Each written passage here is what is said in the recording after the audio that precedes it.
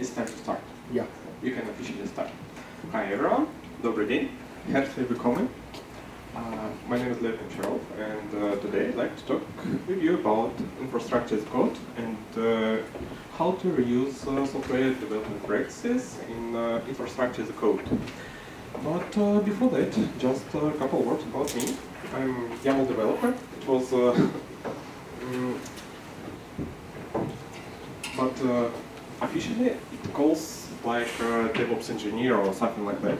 In real life, I prefer different outdoor activity, and uh, sometimes I combine that.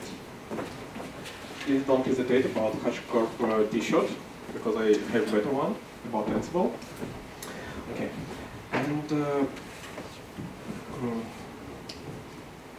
infrastructure as a code, it's a modern approach, and sometimes people say that they have infrastructure as a code, but in reality they have infrastructure as bash history. But if we follow the definition of infrastructure as a code, it means that you can recreate the whole data center infrastructure from nothing, from scratch. And uh, with Bash, it's possible. In some cases, if you store the original Bash history, if uh, nobody put s- uh, wrong commands into Bash history file, yeah, maybe you will uh, receive uh, working infrastructure as a result, but in general it doesn't make, make sense because, uh, well, it's hard to maintain bash, I suppose. This uh, uh, shell bomb, for example, like on, on the t-shirt here, here, bash. Bash is tricky, don't use it, because there are some more appropriate solutions for that. But if you are talking about code, you should uh, treat it like code. And infrastructure is the code. First of all, it's about code. A small circle in the left. And uh, I'd like to share some stories uh, about uh, changes in different projects.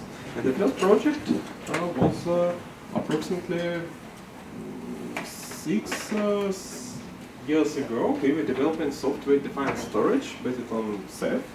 And uh, as part of that process, we had to uh, install our de- uh, software-defined storage uh, ju- just in just to be sure that it is installable and we can uh, release it. And the first idea was, hmm, let's create a bash script. SSH there, SCP here, um, create a user, and uh, it's uh, extremely easy. Bash, glue, it works. Combined together, but time is ticking. And uh, this uh, one-time code was leaking to the pre-production environment. And uh, let's copy-paste the script, paste uh, to another environment, just uh, modify a little bit, and as a result, we received a bunch of approximately the same bash scripts. And it was a problem, because it's hard to synchronize this logic. And you know, we reinvented the wheel. We reinvented the do not repeat yourself approach. Uh, we just segregated uh, configs and uh, logic inside bash scripts, and uh, it worked. And uh, here, the key point that we reused approach from software development world. We used uh, approach do not repeat yourself. It. Okay. Hopefully, this period of our project was uh, rapid, short, just uh, during the proof of concept stage. It was totally okay to use Bash, no, not 100% okay, but more or less, let's say. And after that, we migrated to Ansible. It was an immense piece of Ansible. We created one big role. It was installing uh, the whole installation, and you know, it was hard to maintain because um, was hard to put all logic inside your mind, and we segregated it to the small pieces.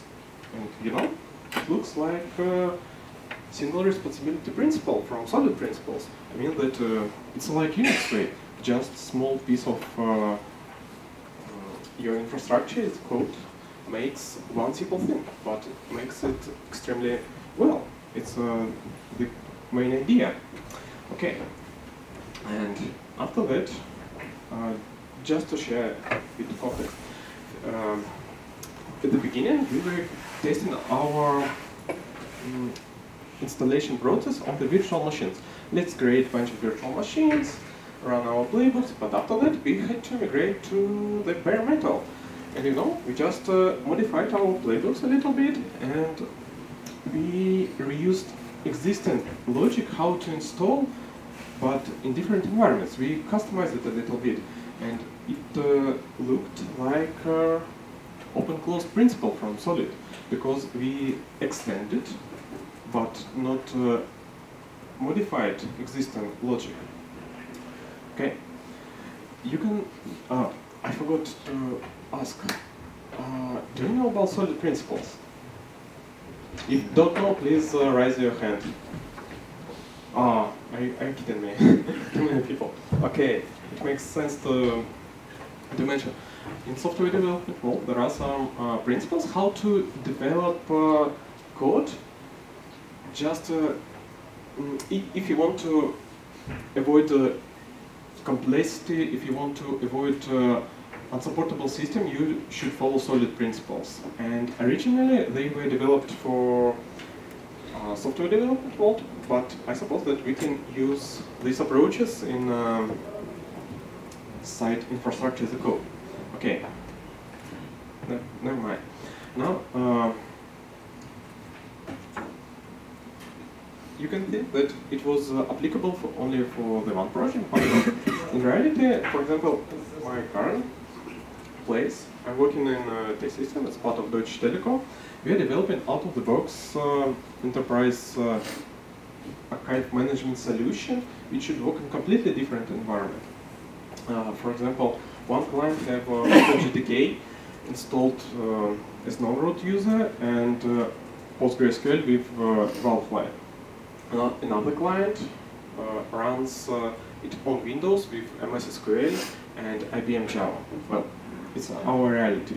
We should uh, support completely different environments. And uh, for installing Java, we have a couple of roles. Because, uh, um, for example, in case of packet managers, we can easily run and use packet managers, install Java, everything is fine. But uh, Mm, in case of non-root users, we should care how to copy-paste uh, archives, download them. It's uh, the logic, but it looks uh, the same in both cases. We have binary Java installed, and it's uh, our contract with another team. And uh, interesting thing that we can replace one Java role implementation with another Java role implementation, but in general, our system will be working fine without any major issues. And this uh, idea also is coming from software development world. It's called uh, Liskov, substi sorry, Liskov substitution principle. And idea that we can replace uh, one entity with another entity and nothing will be broken. Um, but uh, problem is that inside software development world there are some let's say syntax sugar for that. You can use dependency injections, but in Ansible, no. You have only agreements uh, inside your team with other teams, these contracts, you, you should remember about it somehow. You should share this knowledge somehow. But uh, in reality, we use it. Okay, one more principle, inter inter interface uh, segregation principle. The idea is that as a result of uh, working our playbooks and roles, we have uh, installed application. And each, uh, mm, as I mentioned, it might uh, work in a completely different environment, and we should care about it. We should, um, it's uh, like interface to other teams. You run this playbook, you have uh, installation. At the very beginning, we tried to put all this logic into one playbook. If you use PostgreSQL, run this part of code. If you have MariaDB, let's uh, use this code.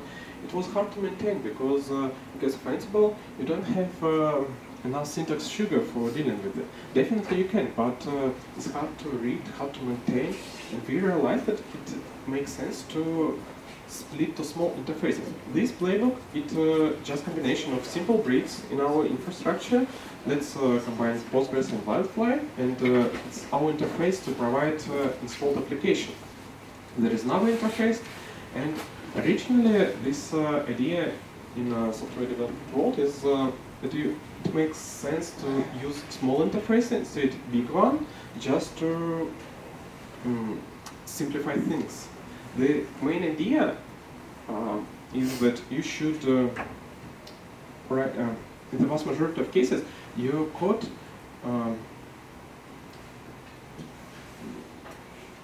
in the vast majority of cases, people read code, not uh, and they should keep it uh, inside their mind, just to remember every relations with other parts. And it's hard to follow complex logic inside code. It's uh, more easier than it's tried. Okay, the last principle inside uh, Solid is uh, dependency um, dependency inversion principle. Idea is, uh, I'm going to show it uh, via antipattern. We have uh, one client, and this client uh, has, uh, mm, let's say, private cloud. Inside that uh, cloud, we can order a bunch of servers, and colleague of mine created a playbook which was dependent on disk, which on different uh, hypervisors, virtual machine uh, received uh, these different disks, and a colleague of mine decided to use uh, that fact uh, for um, using different logic inside playbook. As a result, this playbook it wasn't possible to reuse in other place. It's uh, it means that, in other words, it's possible to say like it was leaking layers in your code. In software development world, there is a principle for that, dependency inversion principle.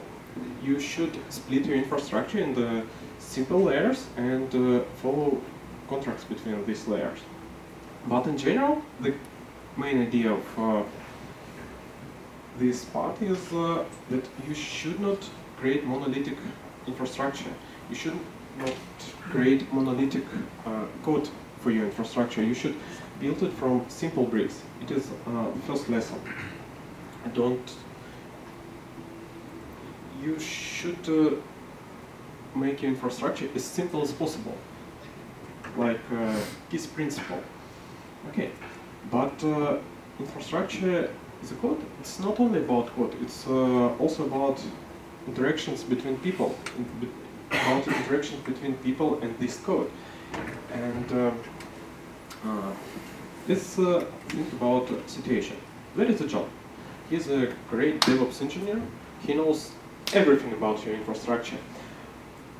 But uh, in some cases, in some cases, uh, boss can hit him, and you can, in that situation, you can lose all knowledge about your infrastructure. Yeah, you have a code in the repository. I suppose you use uh, version control systems. Nowadays, I suppose it's standard. But uh, how it works, it's a, it's a problem. And uh, yeah, um, it's uh, a problem how to share knowledge across the team. For, for example, when we were developing software-defined storage, our team was uh, rapidly growing from, uh, let's say, three people to 60 people. And we had to share our knowledge somehow. We tried to reuse some extreme programming practices, for example, pair programming, uh, what we call pair DevOps. Uh, idea was that uh, the only one keyboard, the only one uh, laptop, but there are two DevOps engineers, and they were doing their daily routine. Just let's take this task, and we have this uh, typing things together. They were they were modifying infrastructure, and it was like sharing knowledge. But no, it was not working in our case because it, um, it was hard to. Um, well, maybe it we failed because uh, we were working remotely. Maybe we failed because uh, lack of uh, knowledge from software development world, but exactly in that case, it uh, wasn't working for us. But for example, mentoring, it was more or less okay. Uh, during onboarding process, we were choosing one mentor, and one uh, new onboarding person, and they were doing casual um, daily routine together, and as a result of that process, uh, they will share knowledge from uh, old one person to the new one. It uh, sounds like uh, DevOpsing, but uh, in pair programming, you should change uh, roles from time to time. One person is lead, there is another person who is following you, but in mentoring, only one person is uh, lead person. Uh, this person should share his ideas. Uh, it looks like pair programming, but in reality no. Also, we tried to share knowl- knowledge via incident calls. Uh, during incident calls, we were choosing one lead person who was leading the incident. This person had to share the screen and show uh, how to grab logs, which part of the system to check, which uh, system to check, and all stuff like that.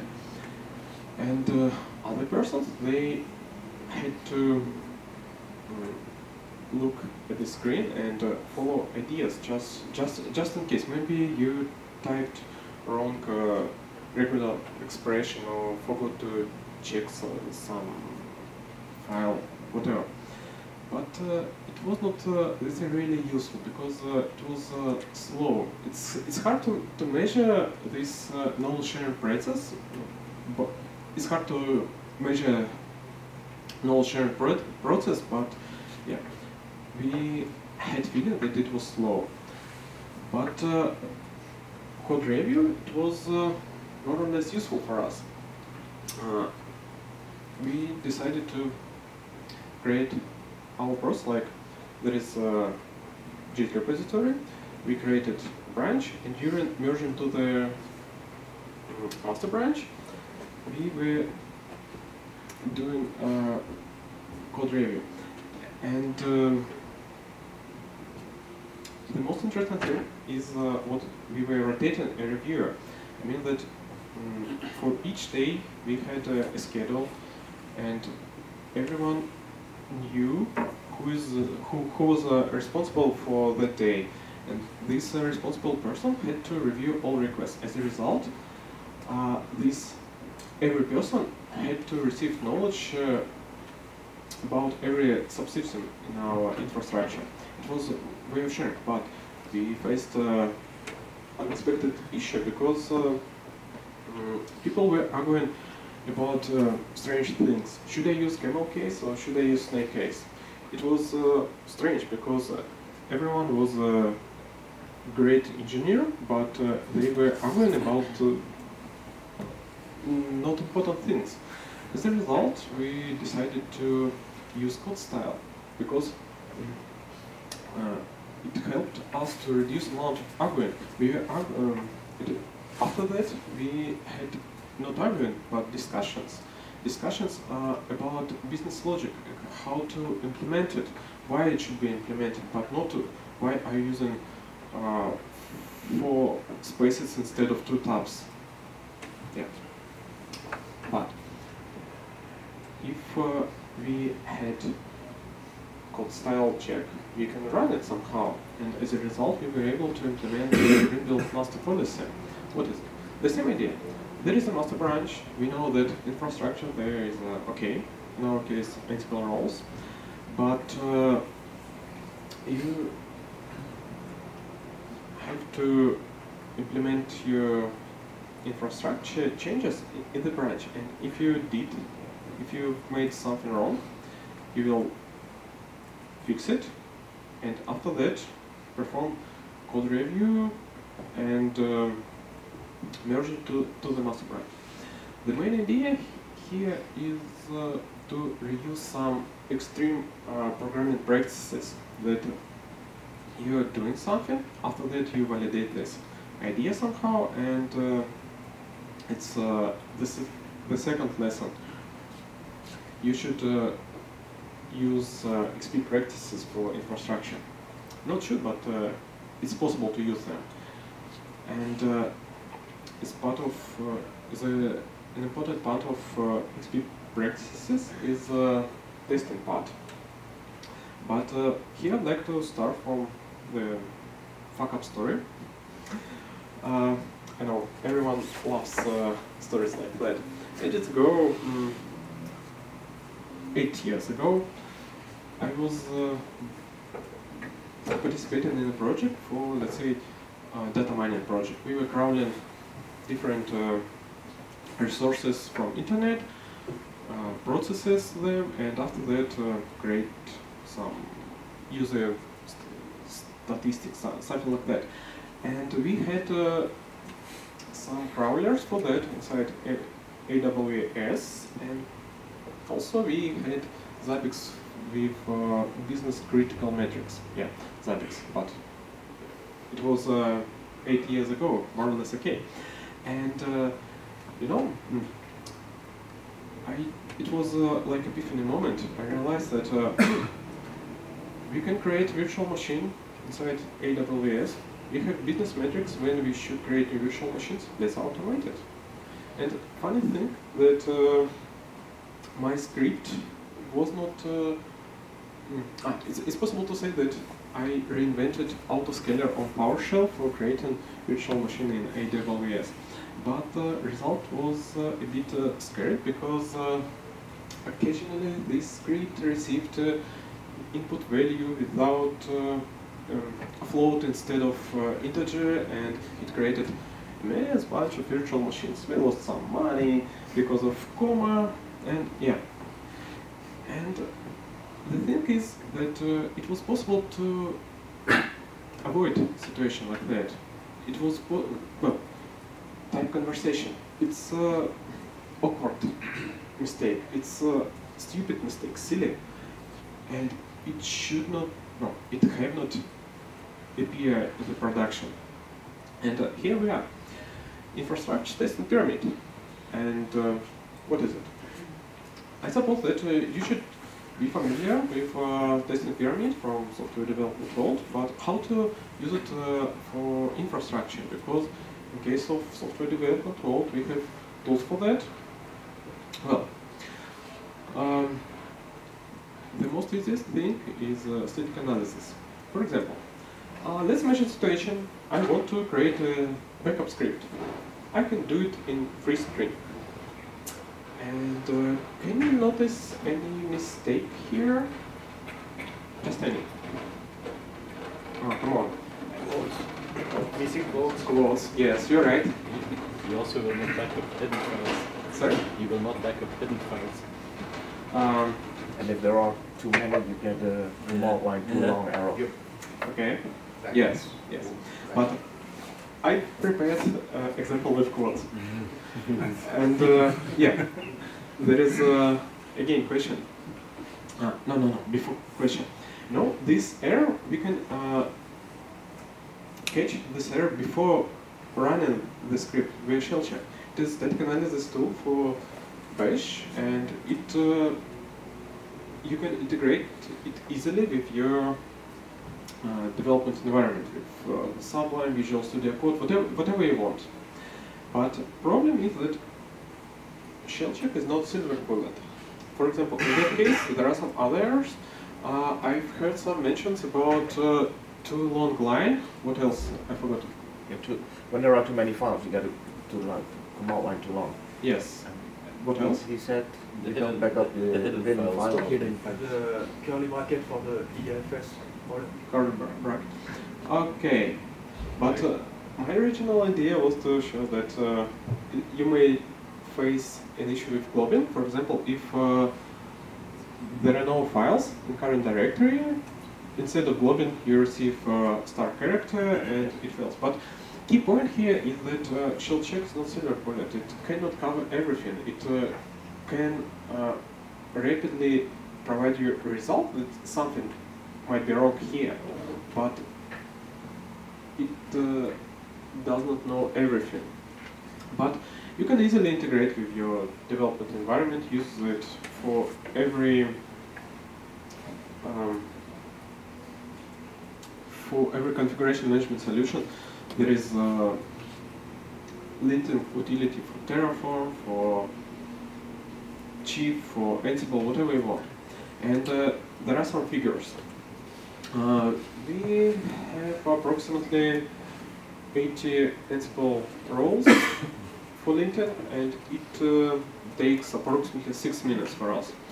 But in case of one role, it's uh, let's say seconds. Yeah, just, just to show some figures. Uh, but it's uh, static analysis. It's not really interesting because it's uh, mm, it uh, does not run anything.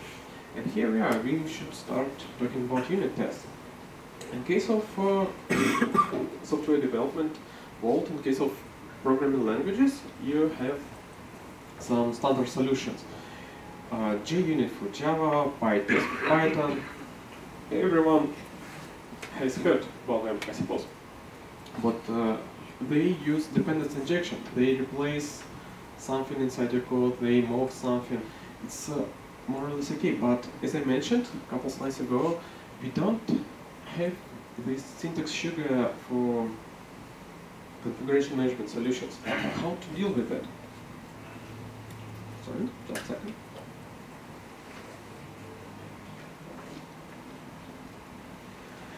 Well, mm, in case of infrastructure, mm, the first lesson was about uh, build your infrastructure from simple bricks. And uh, I'd like to reuse this idea. Let's imagine our infrastructure consists of uh, simple bricks. After that, we should create an instance, provision it somehow, validate the instance, and understand can we use that uh, brick inside our infrastructure or not. It's uh, more or less obvious.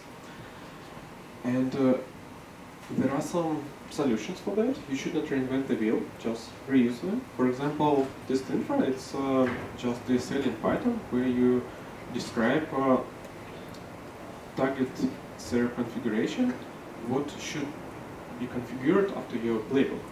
As you can see, it's uh, more or less user-friendly.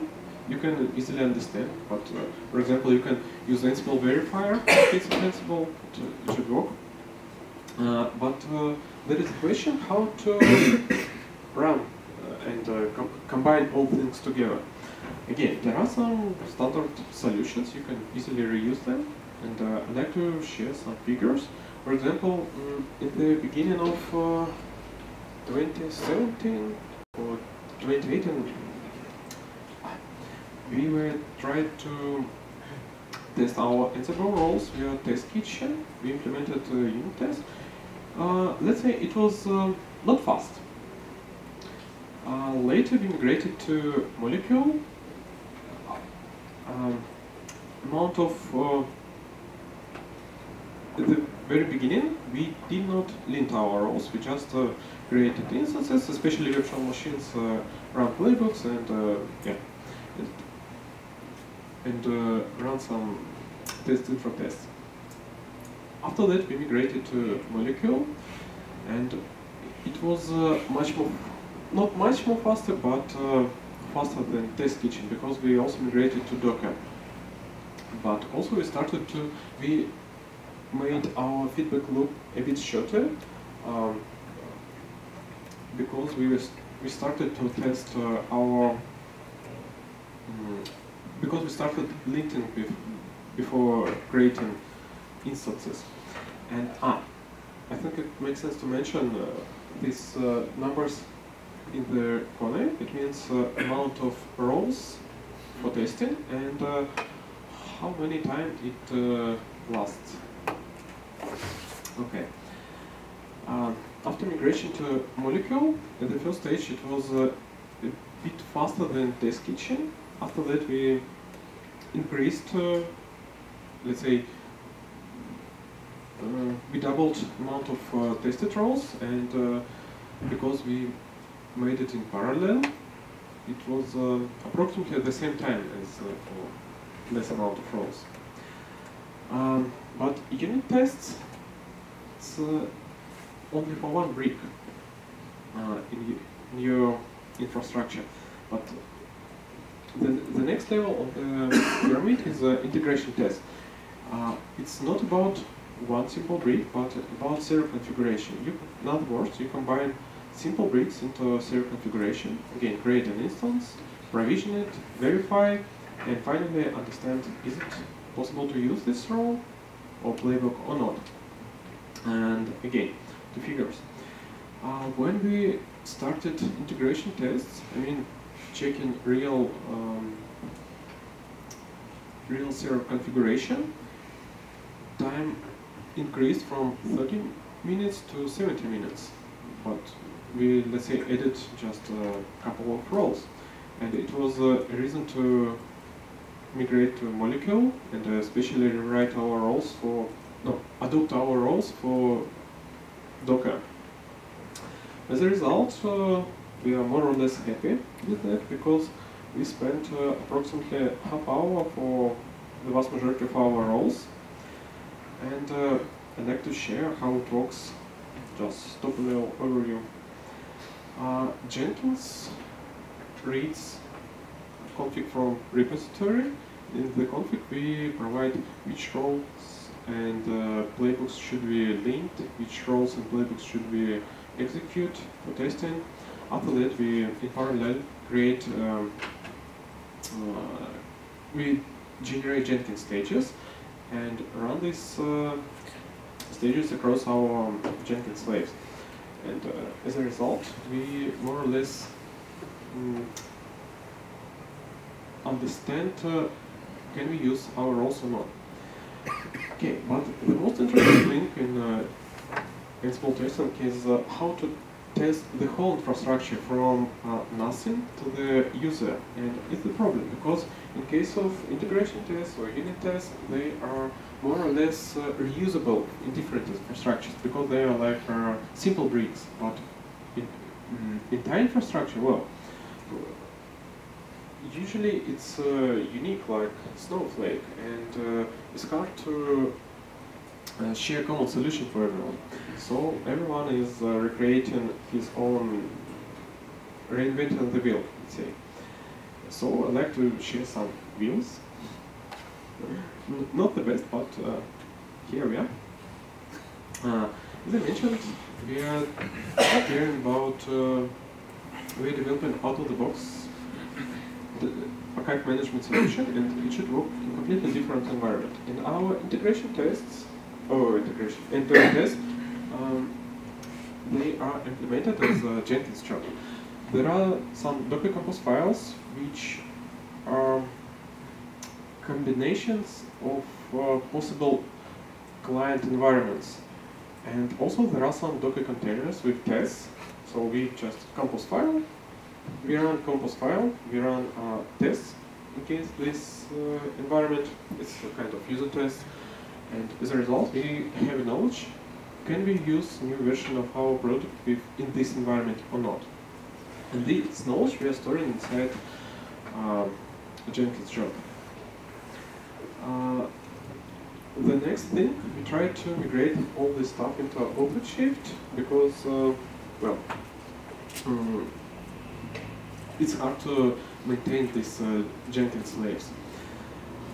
And uh, we tried to put things in order via Ansible Playbook bundle, but uh, the, the idea was to create recreatable and uh, testable environments. Just run this playbook, or just run this container, as a result you have the same environment, and uh, you can test uh, your environment creation. But we faced a problem. Our clients, uh, they use Windows, and it was hard to, ah, we faced two problems. First of all, Ansible Playbook bundled that, and uh, the second, that uh, we should care about Windows. So, in uh, our reality, we live with uh, a bunch of Jenkins shop for testing different environments. But also, one more use case in my practice. Ages ago, when we were developing uh, software-defined storage, we, let's say, we had one um, Ansible role or playbook for um, testing, for end-to-end testing. It was creating a bunch of virtual machines, after that uh, service and uh, some Ruby verification. It was not really fast, but it worked. Okay. Uh, and finally, if you don't test your infrastructure, you don't have understanding. Is it uh, possible to use these playbooks in production or not? Well, uh, there is a, a transcription of this speech. It is the first link, in the top right, uh, in the top left corner. You can read it. Yeah. If you have any question, just feel free to ask. You can go deeper into details. No question. See one question. Um, on the level of unit tests, the example you gave on, was something from uh, Testinfra. Uh, check whether a user exists. But an Ansible playbook, being declarative in nature, already, already specifies I want this user to exist. So why would you, after the playbook uh, has run and it, and it succeeded, a user exists. So why do you want to check it again? That seems utterly pointless to me. Because uh, it might be contract between you. Uh, it's an extreme. Uh, I suppose I should uh, repeat the question. Why should we duplicate uh, this uh, user checking? Um, I mean, we have that inside playbook, and we have that information in the test. Well, the answer is that uh, it's uh, no duplication, it's knowledge sharing, because um, it, it's a kind of contract between you and other teams. If you run this uh, role, as a result, you have this user, it's an agreement. Or for example, it might be another test. If you run this role, you have a Java binary in this path. It's uh, just be on the same page with uh, other teams. Yeah. So you're guarding against somebody changing the role in a way that the user is no longer created? Or is that what you're guarding against with the test? It's Well, like could a it- different That makes sense. Just testing for regression. Yeah. The other case that you're testing for is if somebody changes um, the module that is used to implement the role, so Um, you can confirm the same behavior. An example. Uh, let's say we have agreement. Java should be located in uh, ASP Java, but uh, occasionally somebody decided to change this behavior inside role and let it be USR local bin Java. Why not? But it it might broke something and it should be contract. I suppose uh, I answered. Okay. And uh, just uh, to measure, could you please raise your hand if you test your role somehow? Okay, about uh, 25%. Okay, not bad. And uh, how many of you have uh, implemented uh, mm, end-to-end tests? One hand, one hand. No, two, three. Okay, I'd like to collect this information, how it works. okay, any any questions? No? Okay, Are you using uh, Tower or AWX? I uh, I repeated the question. Are you using Tower or AWX? No, in uh, our reality we use uh, Jenkins for automation our processes because uh, mm, interesting question. In in simple way, I can ask that uh, we had uh, we, we had had uh, Jenkins, so we decided not to add uh, additional entity to our infrastructure. But reality is a bit more complex because, uh, for example, in case of clients, uh, there are mm, there is a problem. It's called uh, air gap. So somebody should copy things to the USB stick, go to the client, and run it there. So it's not really possible to run it remotely. yeah. Okay. What? Uh, no? Okay, if uh, there are no questions, just uh, catch me after we can discuss uh, deeply. Okay. Thank you.